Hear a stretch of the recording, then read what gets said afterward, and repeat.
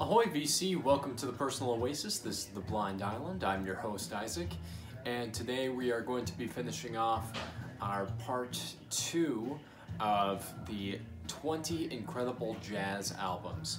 I have the 10 uh, top albums here, and again, there's no real rhyme or reason to the listing here. It doesn't go up to greatest. It's just 20 albums that I believe would be a great entry point for people who are looking to get into jazz but haven't had the opportunity to listen to it. So let's get on to the albums listed here. At number 10, I have Herbie Hancock Thrust. And this is a fantastic album, same group that brought you Headhunters, and a lot of people who, who love that jazz funk sound will continue to hear that here. It is so groovy, so funky, and an absolute banger of a record.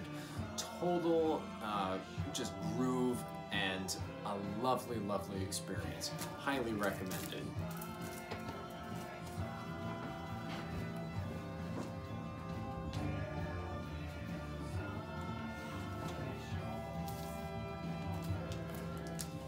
At number nine, I have Jim Hall Concerto. A lot of people here have probably heard of Jim Hall, but haven't really paid much attention to Jim's playing as a solo artist. An incredibly understated guitarist, he brings a lot of space in between his notes and a truly lovely bop sound to his guitar. This record right here is a phenomenal album. And the main one that you want to be listening to is Concierto de Aranjuez and it was made famous by Miles Davis on Sketches of Spain. But I would believe that the heights of that album are matched right here on this title track. Joined with such luminaries such as Chet Baker, Ron Carter, Steve Gadd, and Roland Hanna. Jim Hall is bringing the heat on this album, and Chet Baker's playing on here is an absolute vision of true beauty. Fantastic record, highly recommended. And at number 8, I have Thelonious Monk's Brilliant Corners. This is an absolute seminal jazz album, often listed in the top 25 ever recorded. Thelonious Monk is an artist that everyone needs to hear at least once in their life, and he is bringing the heat on the keys here.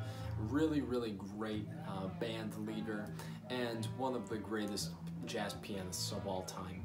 Highly recommended listening. Number seven, I have Ahmad Jamal Trio's The Awakening. This album has been sampled by so many hip hop luminaries and uh, primarily on Nas's Illmatic. This is a phenomenal post bop album and really, really lovely jazz uh, that is played on the piano. Jamal was bringing a wonderful taste to the post-bop scene and this record is a huge, huge gain for anyone who is looking into the history of early hip-hop. And at number six, I have Duke Ellington and John Coltrane self-titled. This is two jazz giants meeting the old vanguard meeting the new school, and you can hear that John Coltrane is being incredibly respectful of Duke Ellington during this meeting of two great minds and in a sentimental mood is one of the most beautiful jazz songs ever recorded. Absolutely glistening and golden, a complete gem.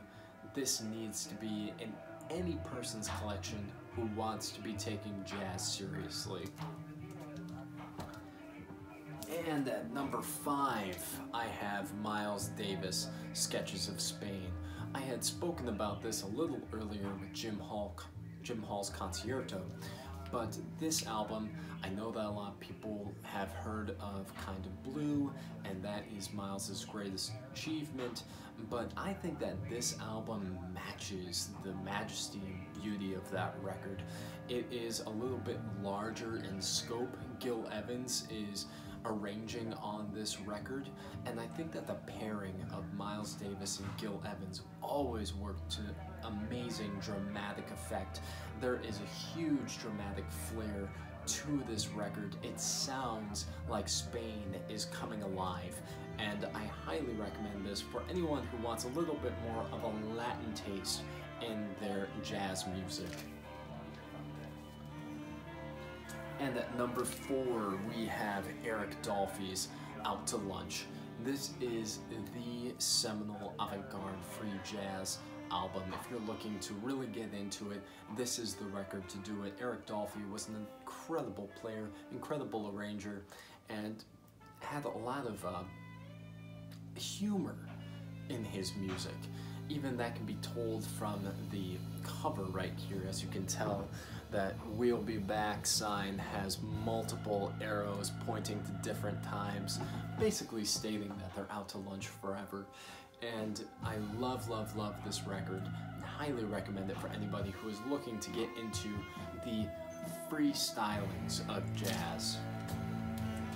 And at number three, Wayne Shorter's Juju. I have shown this one a couple of times on my channel, but I have to show it again because, man, he is just swinging free on this uh, album. Very Coltrane-esque, heavy blowing on this session, and a complete darkness that is enveloped in the session as well. He is showing a lot of proclivity towards uh, heavy notes, um, blowing many different types of uh, runs at the same time, but there's also a hidden beauty in the session as well. Highly recommended for anyone who is looking for thoughtful, intelligent jazz.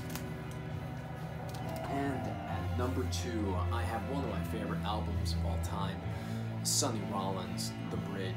To me, Sonny Rollins is the greatest jazz saxophone player of all time. He had this golden tone to his sax that could be unmatched by anyone else, a true beauty.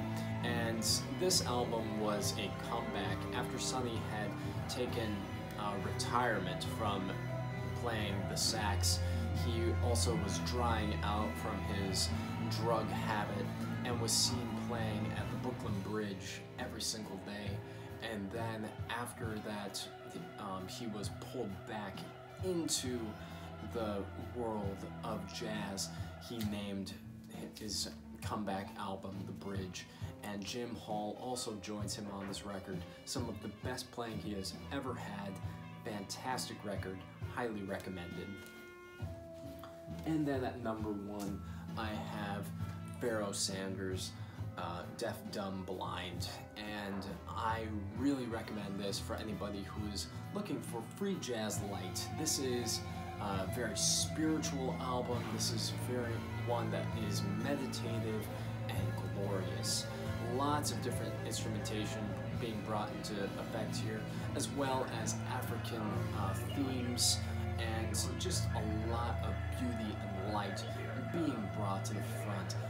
This is easily Pharoah Sanders' most melodic release he ever came out with, and is one that should be sought out by anyone who is a big collector or wanting to get into uh, spiritual jazz.